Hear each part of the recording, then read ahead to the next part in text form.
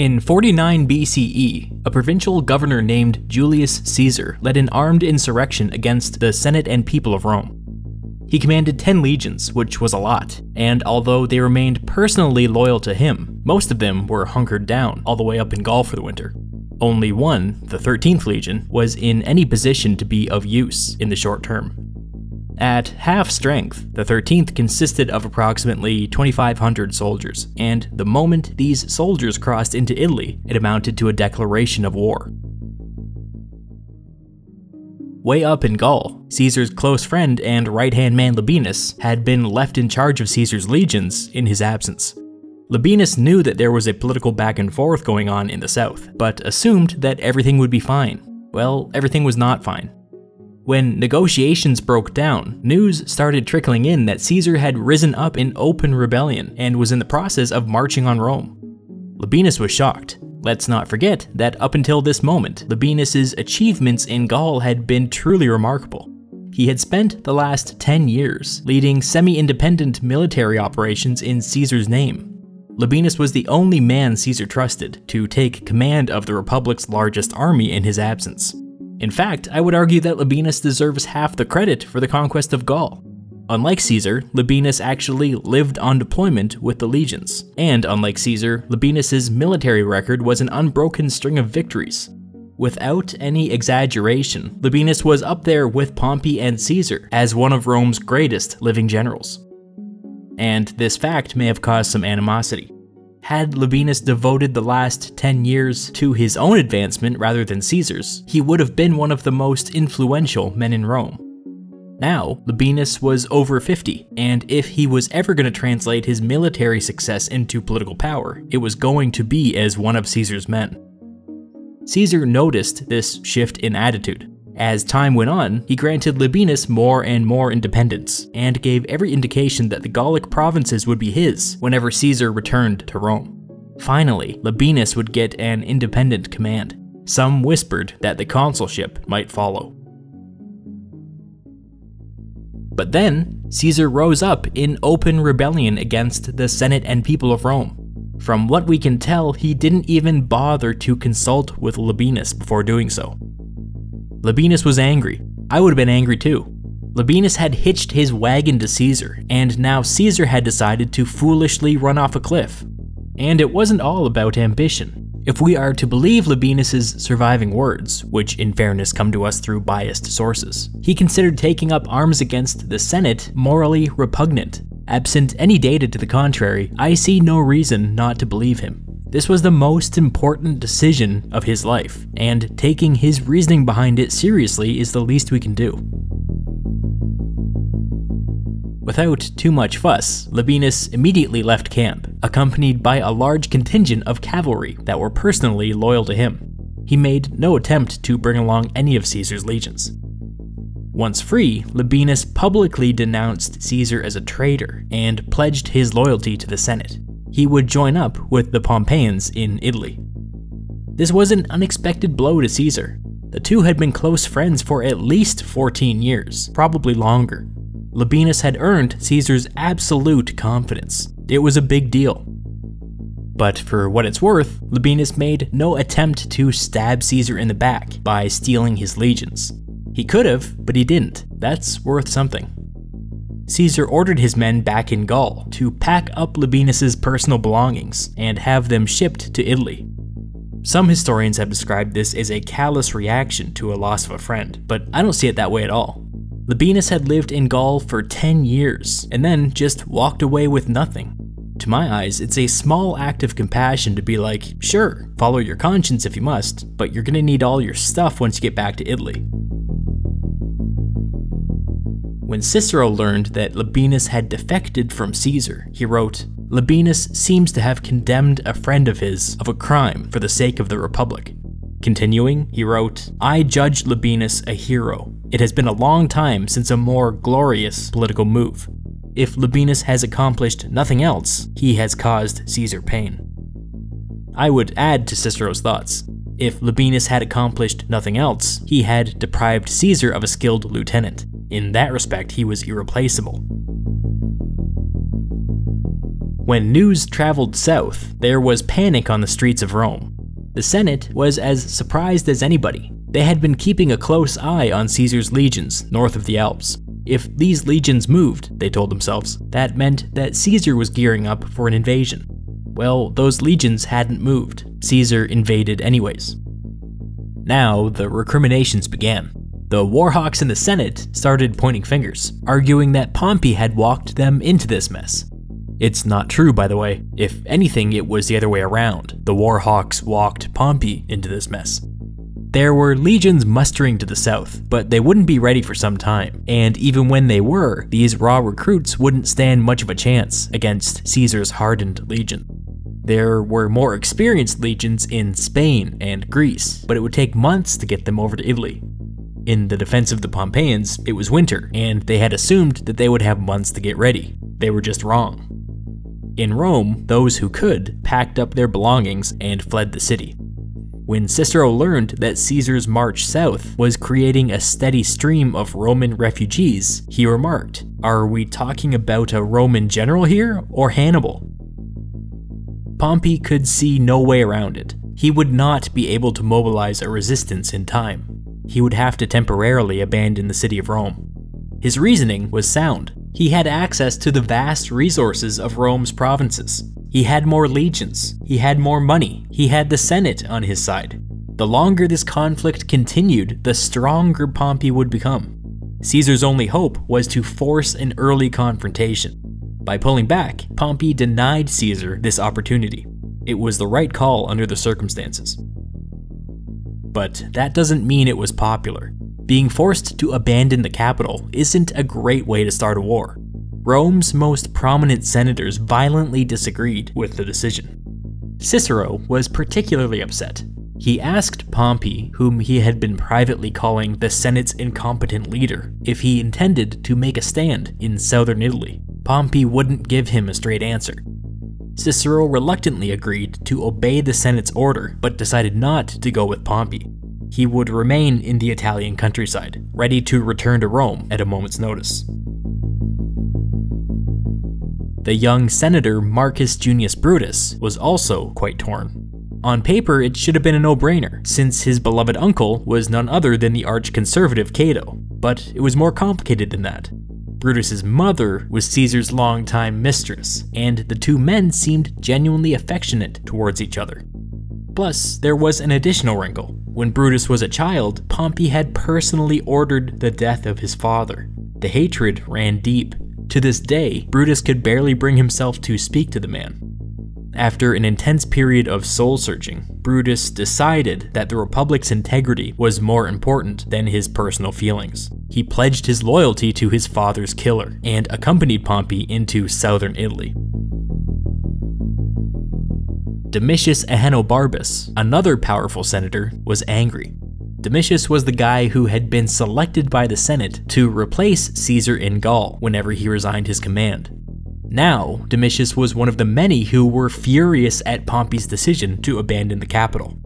Without bothering to consult with Pompey or the rest of the Senate, Domitius grabbed 10,000 militiamen and raw recruits and marched north. He would stop Caesar's advance or die trying. This was not as crazy as it might seem. Against Caesar's one half-strength legion, Domitius would have outnumbered him 4 to 1. However, things had changed in the last few weeks. As soon as he crossed the Rubicon, Caesar split up his tiny legion and captured five cities in rapid succession, all uncontested. One of these detachments was led by Mark Antony, who I would like to note was still technically a tribune of the plebs. Tribunes were forbidden to leave Rome while in office, and not only had Antony left the city, but here he was returning at the head of a rebel army. Things were so chaotic at this time that it never even occurred to anybody to strip him of office. But they should have. Now that Caesar had a foothold in Italy, he ordered his legions north of the Alps to join him. He spent the rest of January capturing cities in the north, Apart from one tiny skirmish, all of the defending garrisons either fled or defected to his side. With reinforcements coming down from the north and defectors coming up from the south, Caesar's one legion ballooned into five or six. By early February, Domitius Ahenobarbus arrived at the town of Corfinium with 10,000 men, which equaled like two legions. Caesar would have to pass this way before heading further south. Domitius knew that for him, this was probably a one-way trip, but if everything went well, it would give Pompey enough time to marshal his resources and march north, intercepting Caesar before he reached Rome. When Caesar's legions showed up outside the walls of Corfinium, the civilians inside the town immediately lost heart and tried to surrender. Besieged, and with no sign of support from Pompey, Domitius's 10,000 recruits and militiamen realized that this was a suicide mission. They mutinied against their commander, opened the gates of the town, and hauled Domitius before Caesar. Domitius was humiliated, he begged for death, believing that the execution of a former consul would serve as a rallying cry for the rest of Italy. Instead, Caesar surprised everybody by publicly pardoning Domitius and letting him walk away a free man. Caesar justifies his clemency by saying that he had no interest in alienating politicians or the public with unnecessary brutality. If he was victorious, he wanted his victory to last, and to do that, he would need the cooperation of his former enemies. That's the reason he gave. The real reason might be a little less high-minded. When Domitius's 10,000 men discovered that Caesar had pardoned their former commander, many broke ranks and volunteered to join Caesar's legions. Now Domitius was angrier than ever, he immediately began planning a second high-risk operation to save the Republic. He'd be back. By now, Caesar had approximately six legions in Italy, while Pompey was still struggling to rally two or three legions in the south. Pompey began to seriously consider abandoning the Italian peninsula. The Pompeians still held the overall advantage, even though locally they were outnumbered. In time, the combined strength of the provinces would surely be enough to overpower Caesar's rebellion. With his mind made up, Pompey began to evacuate his army from southern Italy. Pompey marched his legions to the port city of Brundisium to make the crossing to Greece. It didn't take long for Caesar to figure out where he was going. He abandoned all of his previous plans and made a beeline for southern Italy. By the time Caesar arrived, Pompey had occupied Brundisium, and half of his army had already sailed away. Caesar besieged the city, but a siege wouldn't do any good once Pompey's ships returned. He ordered a small fleet built and used them to haul dirt and rocks and wood out into the harbor. They used the material to begin building a barrier or a breakwater to prevent the Pompeians from escaping. Pompey couldn't let this happen, he responded by sending out ships of his own to slow down the construction. There was skirmishing back and forth for several days, and before Caesar could complete his breakwater, the Pompeian fleet returned. Pompey and the rest of his supporters set sail for Greece. They would live to fight another day. This was a missed opportunity for Caesar, but nevertheless, the Pompeian flight meant that Italy was now firmly under his control. It had been approximately two months since Caesar crossed the Rubicon. He was now finally free to enter Rome. The reception was not what he expected. The place was a ghost town. Those who could had fled the city. Those who couldn't opted to stay indoors. After all, Caesar was a traitor, an enemy of the Republic, and people had good reason to expect a bloodbath. But Caesar wasn't here for blood, he needed something else. Upon entering the city, he immediately called for a meeting of the Senate. Rome's best and brightest had gone with Pompey, but there were a few senators still in the city. Caesar told this little makeshift Senate that he wanted access to Rome's treasury. He was desperate. He was already paying his legions with IOUs, and he would need to continue paying them for at least another year now that Pompey had escaped to Greece. Caesar gave some BS justification for this request, saying that since Rome no longer had to worry about fighting the Gauls, the money previously spent on that should go to him instead. His reasoning didn't make any sense, but it didn't need to. None of the senators objected. In fact, none of the senators said anything. Caesar decided to interpret their silence as approval, which was not how voting worked, but whatever.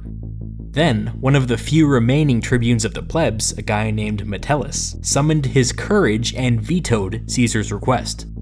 Caesar stormed out of the Senate House. He ordered his legionaries to occupy the Forum, and led a group of soldiers up to the Temple of Saturn, which housed the Roman treasury. When he got there, the temple was locked and boarded up. Metellus stood before the entrance, blocking Caesar's path and continuing to exercise his veto. Caesar approached Metellus and told him that if he didn't get out of the way, he would order his men to murder him right there, before the gods and everyone. After a beat, Metellus decided to step aside. Caesar proceeded to plunder the Republic's treasury and immediately began to settle up on his IOUs. Up until this incident, Caesar had consistently argued that he was on the right side of the law. By coming into Rome and threatening to murder public officials, he demonstrated how untrue that was. The rule of law was dead. Rome was in the hands of a conquering warlord. Even though Caesar controlled Italy, he was still beset with enemies on all sides, which meant that he had an important decision to make. Pompey was in Greece with two or three legions, and was already rallying the combined strength of the East to his banner. Pompey also had seven legions active in Spain, which were continuing to operate independently. Caesar joked that to his west there was an army without a general, and to his east there was a general without an army. He could only deal with one of these threats at a time, but which would it be, east or west? After some deliberation, Caesar decided to head west to deal with Spain first. Here was his reasoning. At this moment, Pompey was in no position to attack. If Caesar spent a year campaigning in Spain, Italy would be relatively safe. The opposite was not true. If Caesar spent a year campaigning in Greece, Italy would probably fall to the Spanish legions. Spain was the immediate threat. Greece was the future threat. The immediate threat had to be dealt with first. This must have been an agonizing decision. Caesar understood that Pompey would become more and more powerful as the war dragged on. In his absence, Caesar would leave behind Mark Antony as the informal governor of Italy. Had things gone differently, this would have been Labienus's job, but he was with the Pompeians now, and Caesar needed a new number two that he could rely on. For the moment, Antony was that man, although as we'll discover, good help is hard to find, and Antony was no Labienus. Caesar prepared to split his army. He sent three legions to capture Sicily, with orders to continue on to Africa if they were successful. He sent another legion to capture Sardinia, which was close enough to Italy that they could return if something went wrong. Both of these expeditions would require naval support, which meant that Caesar would travel to Spain with his remaining three legions on foot. Finally, he sent orders to his six remaining legions in Gaul, instructing them to break camp and get themselves to Spain as quickly as possible. They would beat him there, but that was fine because time was of the essence. Every day Caesar spent in Spain, Pompey would be gathering strength in Greece.